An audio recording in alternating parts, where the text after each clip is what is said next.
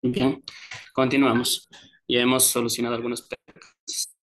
Te recalco, el día de hoy vamos a tratar básicamente todo a la Ley General de Salud, de Seguridad y Salud en el Trabajo, así como su respectiva normativa. Pues aquí tenemos una breve introducción en la que ustedes pueden visualizar. En la primera imagen, por ejemplo, se observa a dos personas usando machetes. En las otras imágenes también. Pues esas imágenes eh, hacen alusión a, muchos años atrás.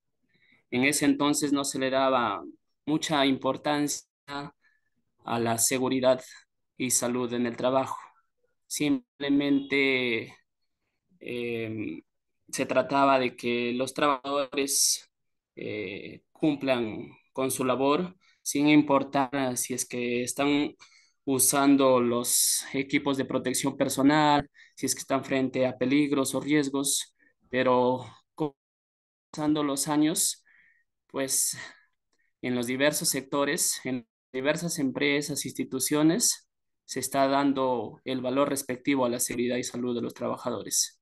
Justamente el día de hoy trataremos acerca de la ley 29783, la cual, la cual fue promulgada en el año 2011. En la última imagen, como ustedes pueden observar, eh, tenemos a, a cuatro trabajadores que están portando sus equipos de protección personal como corresponde. Tenemos los cascos respectivos, mascarilla facial, chaleco, entre otros equipos, los cuales son muy necesarios cuando se está trabajando en una empresa. Eh, ahora partiremos uh, haciéndose la siguiente pregunta. ¿Qué es la seguridad y salud en el trabajo? Eh, estas definiciones parten básicamente del Decreto Supremo número 005-2012 TR. Este de decreto supremo está ligado a la ley 29783, Ley de Seguridad y Salud en el Trabajo.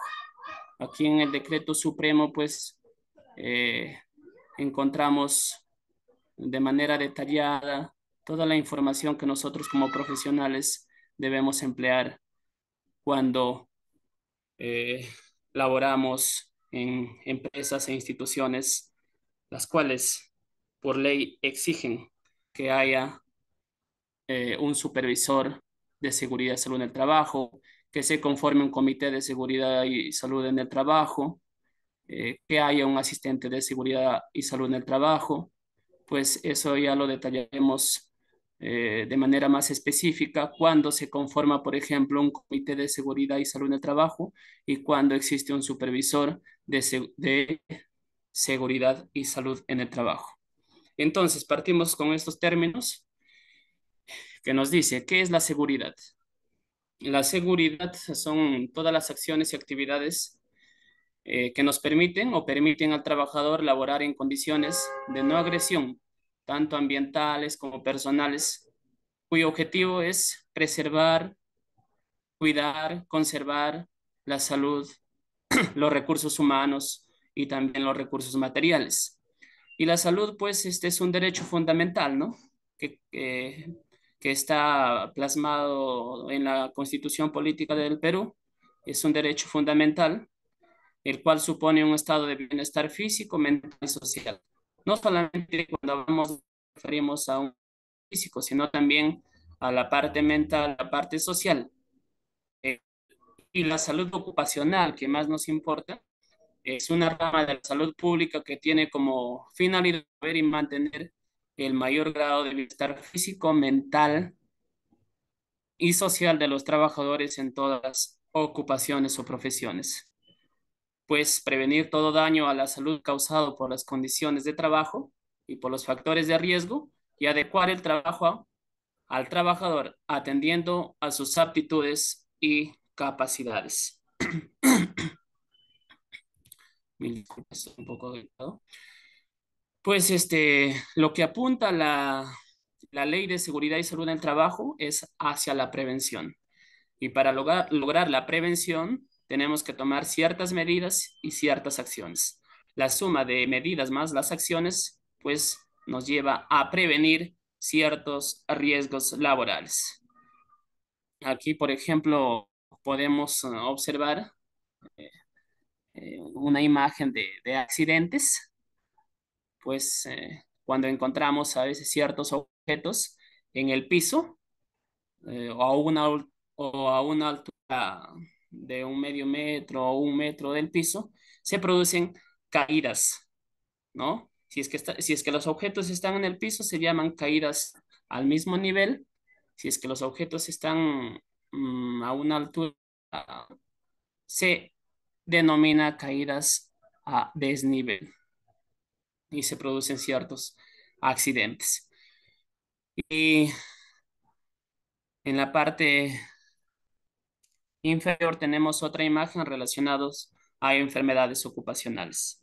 Hoy en día podemos este, mencionar que existe un sinnúmero de enfermedades ocupacionales.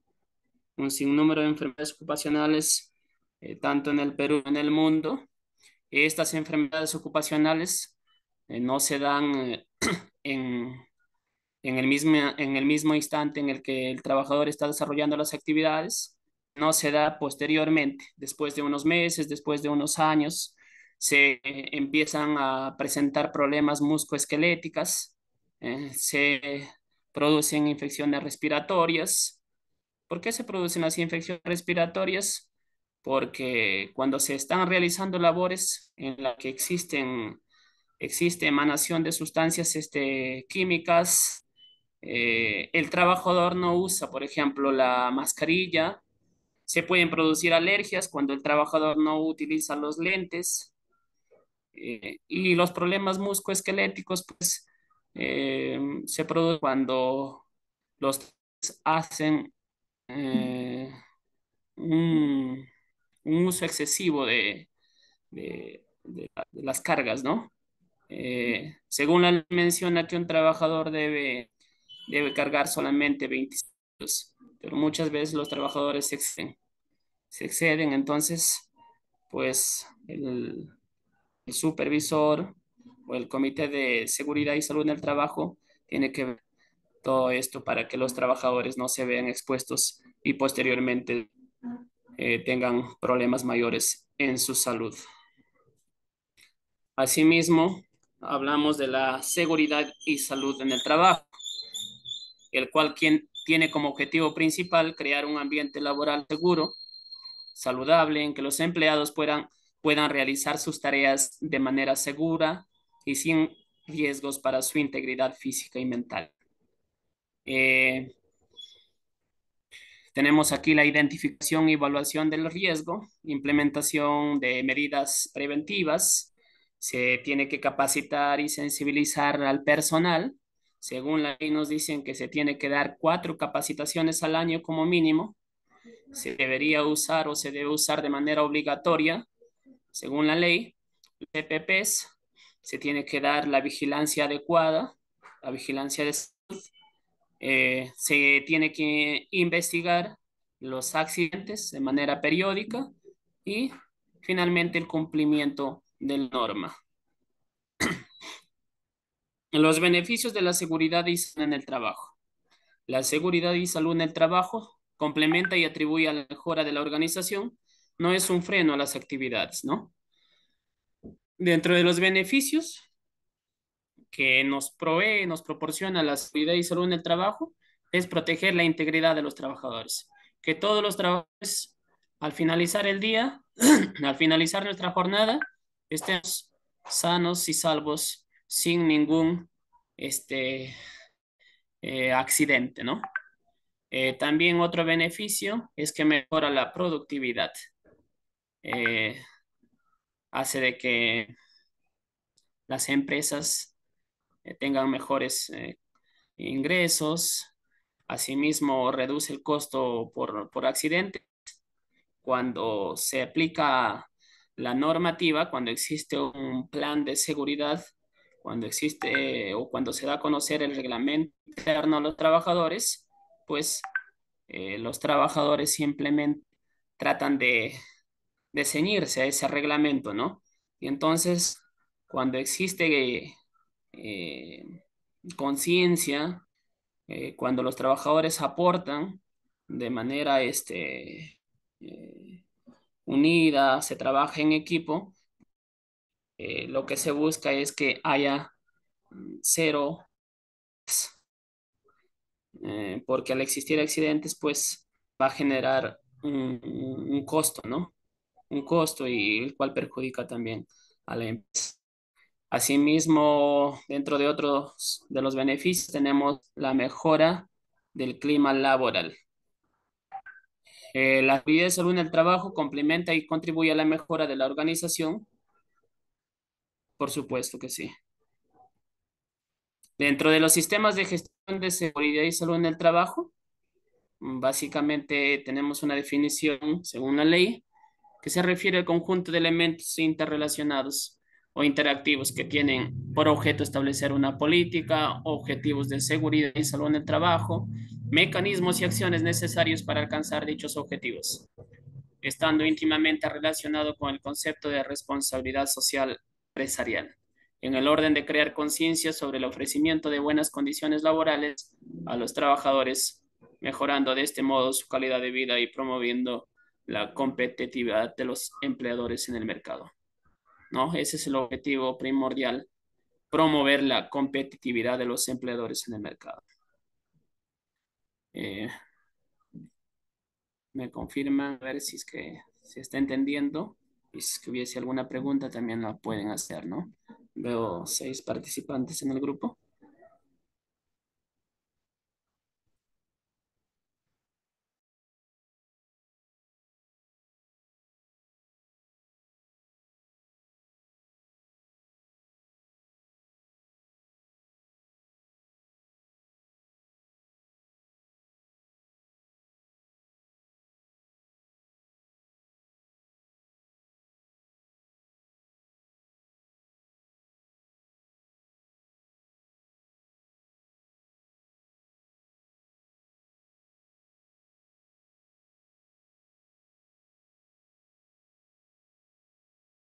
Acá. El objetivo es que, el objetivo es que mm, no exista ningún incidente, ningún accidente, que todo se realice con normalidad. Es, bueno, esta imagen pues es acerca de, un, de, de una fiesta, de un night party.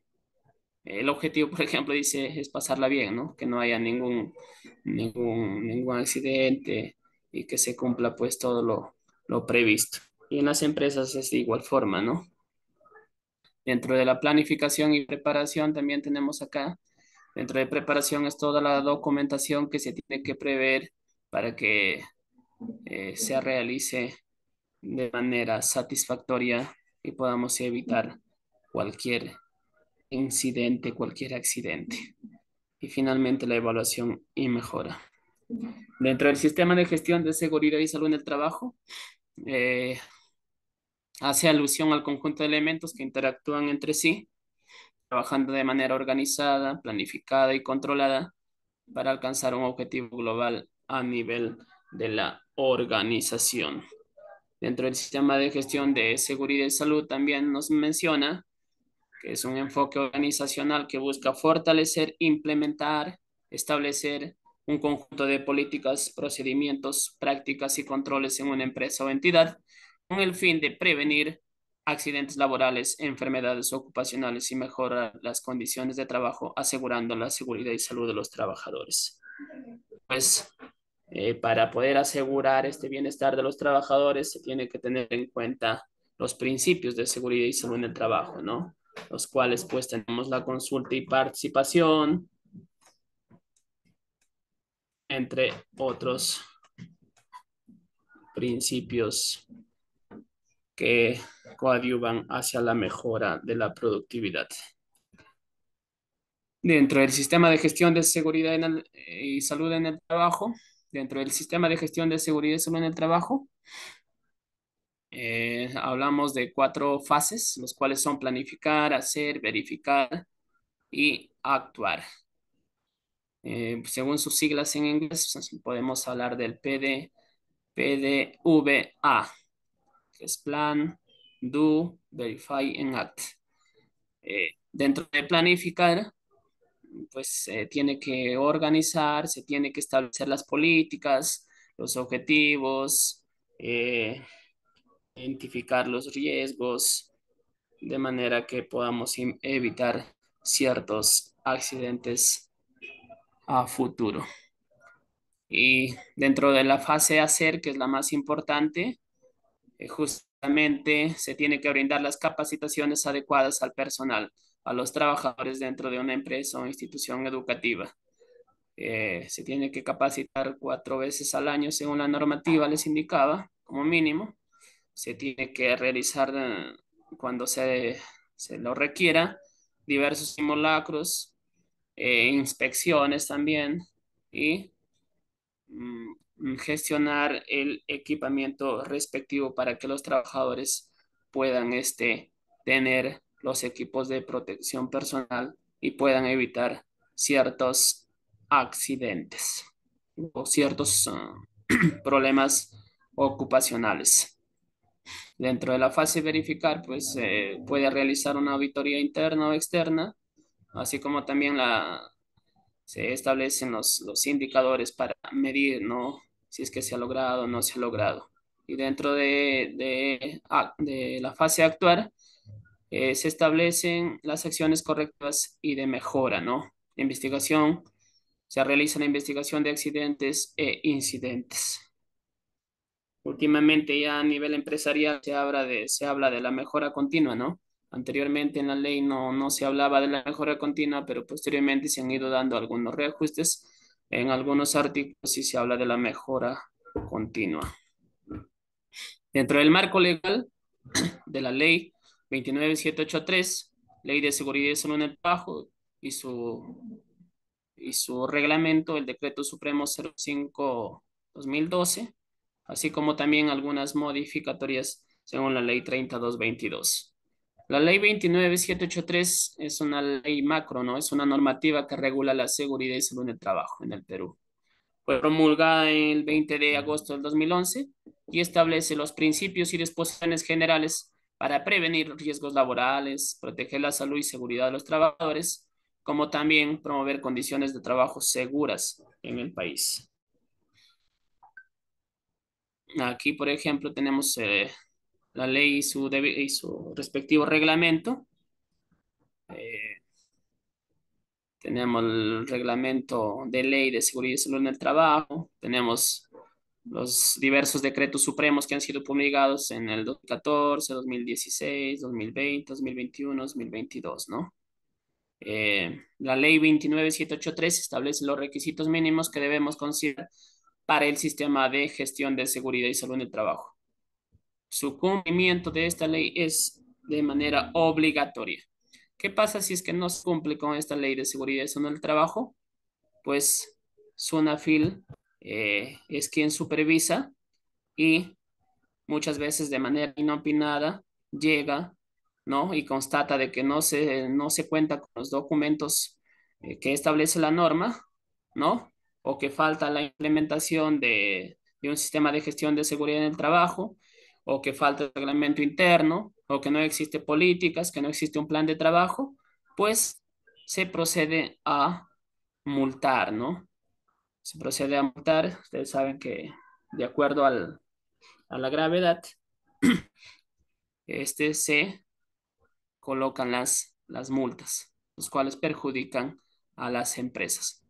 Por ende, es importante que eh, se cumpla ¿no? esta ley. Todas las empresas deben tener debidamente implementado según la ley 29783. Eh, ¿Qué es lo que contiene básicamente la ley 29783? En el título preliminar tenemos los principios, ¿no? Principio de, de responsabilidad. tenemos También, por ejemplo, las disposiciones este, generales. Tenemos la Política Nacional de Seguridad y Salud en el Trabajo. En el título 3, el Sistema Nacional de Seguridad y Salud en el Trabajo, el Sistema de Gestión de Seguridad y Salud en el Trabajo, los derechos obligatorios, información de accidentes y enfermedades, inspección de seguridad y salud en el trabajo y las disposiciones complementarias. Eso es lo que eh, tiene básicamente la ley, ¿no? La ley de seguridad y salud en el trabajo. Mm, los principios de la ley. Tenemos aquí, por ejemplo, el de responsabilidad que les mencionaba, pero antes tenemos el de prevención.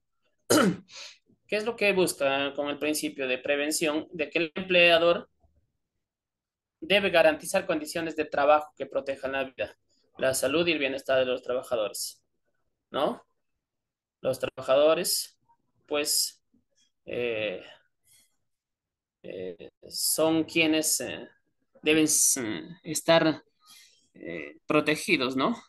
Protegidos cuando se realiza el, contrato, pues el empleador debe garantizar esas condiciones que no atenten contra la vida. Dentro del principio de responsabilidad, el empleador asume las implicancias económicas, ¿no?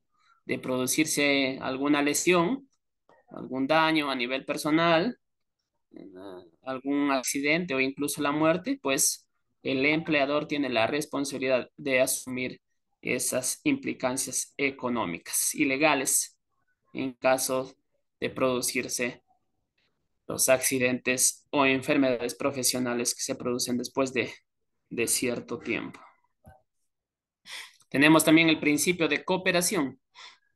Todos los trabajadores deben eh, eh, cooperar, ¿no? Deben trabajar de manera articulada, los trabajadores y empleadores, ¿no? coordinar de manera permanente, ¿no? Relacionado a la seguridad y salud.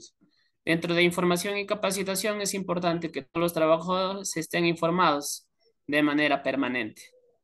Estén informados y estén capacitados, ¿no? ¿Quién brinda esta información? El empleador. De manera oportuna, por supuesto, ¿no? Y adecuada en temas de seguridad. Dentro del principio de gestión eh, integral, el empleador integra la gestión de la seguridad y salud en el trabajo a la gestión general de la empresa, ¿no? Seguridad de la información, seguridad de la planta, seguridad y salud ocupacional, la calidad del medio ambiente, en conclusión, la gestión integrada de los riesgos. También dentro de otros de los principios y eh, uno de los más importantes, quizás atención integral de salud.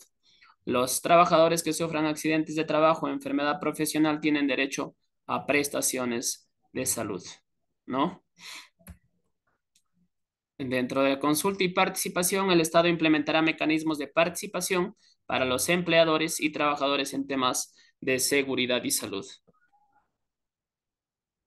Y dentro del principio de primacía de la realidad para el cumplimiento de la legislación, en seguridad y salud las autoridades optan por lo constatado en la realidad en caso sea discrepante con los documentos, ¿no? Y dentro del principio de protección, el Estado y el empleador garantizan a los trabajadores un ambiente de trabajo seguro y saludable, compatible con su dignidad. Entonces allí tenemos o hemos repasado brevemente los nueve principios de la Ley de Seguridad y Salud en el Trabajo. Ahora veremos un ejemplo y nos piden que identifiquemos, ¿no? El, identifiquemos según el ejemplo a qué principio hace, hace referencia, pero al parecer ya está marcado aquí, no me había dado cuenta, pero de todas formas vamos a verificar. Dice, realizamos la auditoría a una empresa que cuenta con 50 trabajadores y verificamos que no se ha realizado el proceso de elección del Comité de Seguridad y Seguridad de Trabajo. ¿No?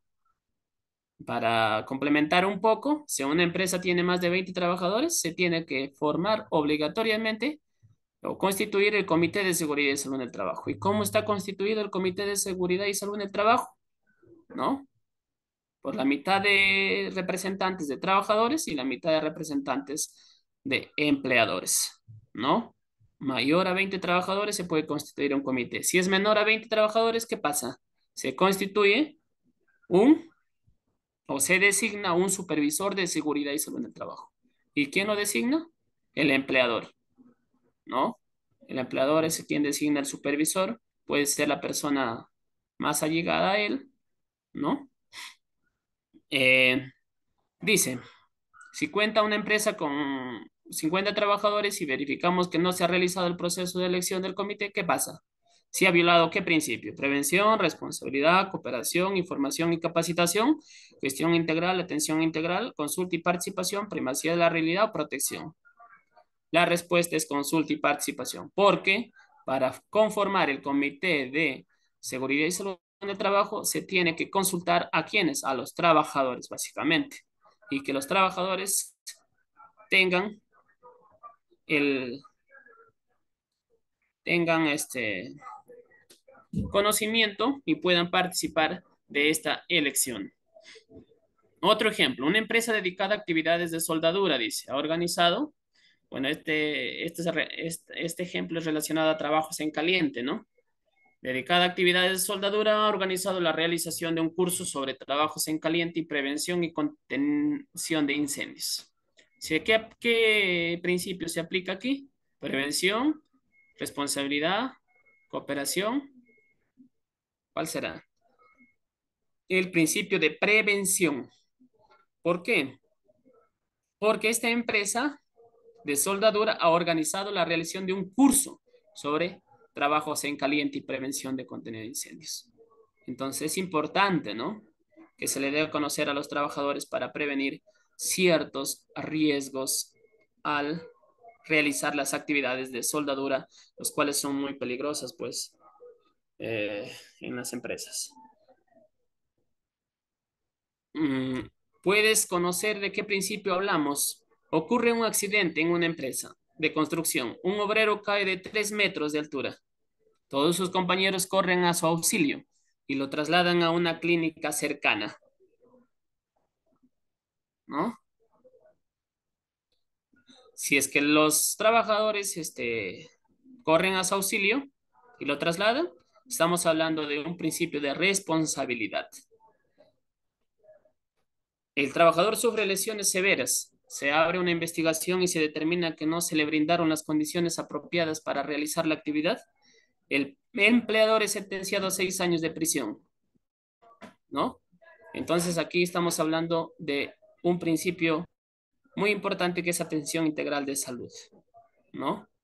Porque la salud es un derecho fundamental de todos los trabajadores y por ende el empleador es responsable de todo lo que pueda acontecer dentro de una organización, dentro de una entidad. Dentro de las disposiciones generales de la ley, de la ley 29783, Ley de Seguridad y Salud en el Trabajo, tiene como objeto promover una cultura de prevención de riesgos laborales en el país. Según el artículo 1, ese es el objeto de la presente ley, ¿no? promover una cultura de prevención. Y para promover una cultura de prevención, eh, se tiene que informar, se tiene que capacitar a los trabajadores, que los trabajadores este, tengan conocimiento ¿no? de los posibles riesgos que pueden ocasionar al manipular ciertos, ciertas herramientas, al realizar ciertas actividades. Eh, dentro del ámbito de aplicación, según el artículo 2, es aplicable a todos los sectores económicos y de servicios, comprende a todos los empleadores y los trabajadores bajo el régimen laboral de la productividad privada en todo el territorio nacional. Trabajadores y funcionarios del sector público, trabajadores de las Fuerzas Armadas y de la Policía Nacional del Perú y, y trabajadores por cuenta propia.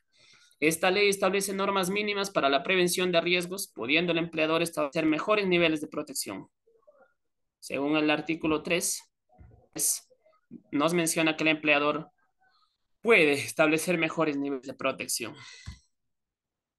Dentro de la política nacional, según el decreto supremo número 018-2021, 2021, la Política Nacional de Seguridad y Salud en el Trabajo, Plan Nacional de Seguridad y Salud en el Trabajo al 2030, eh, busca reducir en 20% la tasa de accidentes de trabajo y enfermedades profesionales teniendo como objetivos prioritarios. ¿Cuáles son esos objetivos prioritarios? Garantizar la gestión y capacidad institucional articulada en materia de seguridad y salud del Estado, las empresas, las y los trabajadores. Construir una cultura de prevención de riesgos en el entorno laboral. Incrementar el aseguramiento de las y los trabajadores frente a los riesgos laborales mejorar las condiciones de seguridad y salud en el, entorno laboral de las y los trabajadores, incrementar los niveles de cumplimiento de la normativa sobre seguridad y salud en el trabajo en el sector privado y público. Eh, dentro del Consejo Nacional de Seguridad y Salud en el Trabajo, mm, es la instancia máxima de concertación en materia de seguridad y salud en el trabajo, formada por el Estado, gremios empleadores, centrales sindicales. Dentro del Estado tenemos el Ministerio de Trabajo y Promoción del Empleo, con su sigla CMTP, tenemos el de Salud, el Ministerio de Salud, el Censo, el Censo Paz, dentro del gremio de empleadores tenemos a cuatro, a la CONFIEF, dentro de centrales sindicales, a la Central General de Trabajadores del Perú, ¿no? Con sus siglas CGTP, al CUT, al CAT y a la CTP. Mm. Aquí pues este, eh, eh, hablamos acerca de la Política Nacional de Seguridad y Salud, entre así como también las responsabilidades y funciones de seguridad y salud, las modificaciones y normativa, la cultura de prevención, cooperación técnica con los sectores, capacitación, formación, investigación científica, fortalecer el soporte, el reporte de accidentes y estadística de la seguridad y salud en el trabajo, desarrollo de servicios de seguridad y salud, difusión e información en SST, cumplimiento de la normativa y fiscalización, el cumplimiento del Plan Nacional de Seguridad y Salud en el Trabajo. Tenemos el Consejo Regional de Seguridad y Salud en el Trabajo. Entre el Estado está conformado por tres, el gremio empleadores tres, centrales sindicales tres. Tenemos el le tenemos la Jereza de Salud, GRTP, Dentro de gremios empleadores tenemos la CONFIEP, Cámara de Comercio, la Confederación Nacional, organizaciones de MIPES, que son las em, mm, micro y pequeñas empresas, dentro de las centrales este, sindicales. Eh, tenemos las CGTP, el CUT, CAT y CTP. También el Consejo Regional de Seguridad y Salud en el Trabajo, pues es la responsable de los programas regionales de seguridad y salud en el trabajo, las responsabilidades y funciones de seguridad y salud, la cultura de prevención en la región, garantizar adopción, política e interés, y comités, capacitación, formación, investigación científica en la región, fortalecer el reporte de accidentes y estadística de seguridad y salud, desarrollo de servicios de seguridad, fomentar SCTR, difusión e información en seguridad y salud en el trabajo. Y el cumplimiento finalmente de la normativa.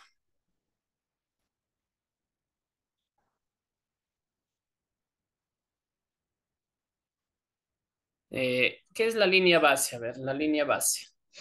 Bueno, en diversos, este, diversos este, proyectos hemos escuchado acerca de la línea base. Y aquí también no es ajeno hablar acerca de la línea base. Eh, la línea base no es más que una evaluación inicial, un diagnóstico del estado de seguridad y salud en el trabajo. Sirve de base para planificar, ¿no? Eh, aplicar el sistema y como referencia para la mejora continua, ¿no? Aquí tenemos un ejemplo de, de un registro de verificación general de riesgos. Eh, tenemos los indicadores, sí, no, ninguna de las anteriores. Por ejemplo, dentro de los principios dice, ¿el empleador ha adoptado un sistema de gestión en seguridad y salud en el trabajo? Sí. ¿Los colaboradores participan en, en sistema de gestión de seguridad? ¿En el sistema de gestión de seguridad y salud en el trabajo? Sí. ¿Se han identificado las desviaciones de las prácticas y condiciones consideradas como inseguras? Sí. ¿Se han establecido estándares de seguridad? Sí. ¿Los riesgos han sido combatidos desde su origen? Sí. ¿Se aplican medidas de sustitución de procedimientos, técnicas, medios, sustancias y productos que son peligrosos? No. No, entonces, justamente se hace un diagnóstico, una evaluación inicial de manera que podamos establecer o planificar eh, de una mejor manera y podamos este, ver también lo concerniente a la mejora continua, ¿no? La línea base, dentro de la línea base están pues los compromisos de seguridad salud en el trabajo, la política, liderazgo, organización y competencias, plan y programa, objetivos, responsabilidades, capacitaciones, medidas preventivas, respuesta ante emergencias, control contratistas, consultas, requisitos legales, accidentes, registros. Todo esto debemos recoger en una etapa inicial. Dentro de la línea base está la evaluación inicial de seguridad y salud antes de implementar acciones en seguridad y salud. Y también es el punto de referencia es el estado inicial de seguridad y salud en el trabajo. Dentro de la auditoría de sistema de seguridad y salud está la revisión y evaluación del sistema de gestión de seguridad y salud en el trabajo, evaluación de cumplimiento de medidas ya implementadas. Eh, bien, eso ha sido todo lo concerniente de manera general eh, respecto a la ley 29783 y su respectivo o respectiva normativa o marco legal. Eh, si hubiese alguna consulta, lo pueden hacer. Ha sido una, una clase introductoria el día de hoy. Eh, no sé si pueden este, acotar. Gracias.